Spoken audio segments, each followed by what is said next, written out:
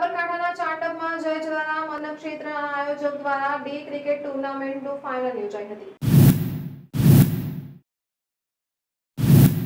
સાબરકાંઠા જિલ્લાના ઈડર તાલુકામાં આવેલા ચાડબ ગામમાં જલારામ બાપાની અમિત દ્રષ્ટિથી ચાડબ જય જલારામ ક્ષેત્ર સતત અઢાર વર્ષથી ચાલુ છે.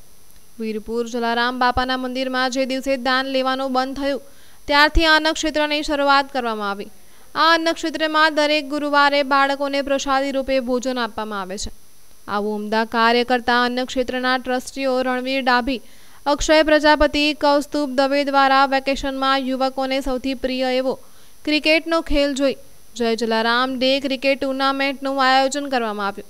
આ ક્રિકેટ ટુર્નામેન્ટની અંદર આસપાસના બત્રીસ ગામોથી લોકોએ ભાગ લીધો હતો. દિવસે દિવસે ટુર્નામેન્ટની રમતોમાં વિજેતા બનેલી ટીમો આગળ જતી ગઈ.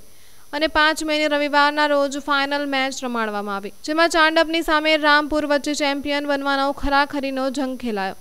ચાંડપની ટીમે ટોસ જીતીને બેટિંગ લઈ એકસો ત્રાણું રન બનાવી. રામપુરની ટીમને એકસો ચોરાણું રનનો લક્ષ્ય આપ્યો હતો.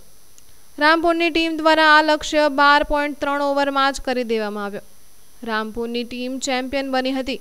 રામપુરના ખેલાડીઓ કુલદીપ રાવલ, મિલાપ નાયક, જય સોની ભરતભાઈ ઇન્સાફ જેવા ખેલાડીઓએ શાનદાર દેખાવ કર્યો.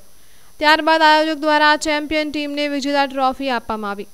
રનરઅપ ટીમને પણ ટ્રોફી આપવામાં આવી હતી, જ્યારે રામપુર ટીમના ભરતભાઈ એકસો બે રને નોટ આઉટ રહીને તેમને ચાર વિકેટ લઈ ઓલરાઉન્ડ દેખાવ કરવાને બદલે તેમને મેન ઓફ ધ મેચ જાહેર કરવામાં આવ્યા. શાંતિપૂર્વક ટુર્નામેન્ટનું આયોજન પૂર્ણ થયું હતું. આવા જય જલારામ અન્નક્ષેત્રના ટ્રસ્ટીઓ દ્વારા દર ગુરુવારે બાળકોનું જમણવાર કરવામાં આવે છે. તે કામની ગ્રામજનો તેમજ આસપાસના ગ્રામજનો દ્વારા બિરદાવવામાં આવ્યા હતા. રાકેશ નાયક સાથે અનેસ ગુજરાત ન્યૂઝ, ઈડર.